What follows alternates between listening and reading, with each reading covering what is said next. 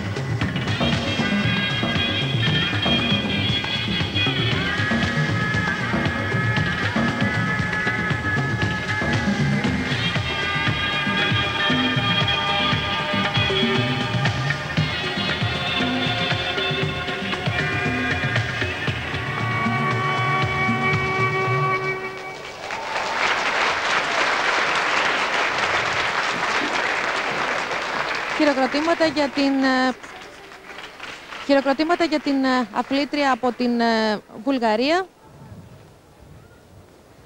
Περνάμε στην Ελίνα Νιέμι από τη Φιλανδία στο Στεφάνιο. In the program, Αποσπάσματα από το πρόγραμμα που μας παρουσίασε η Σιμώνα Πετσέβα. Μας δίνει τώρα ο σκηνοθέτης μας, ο Δημήτρης Οζιώζιος.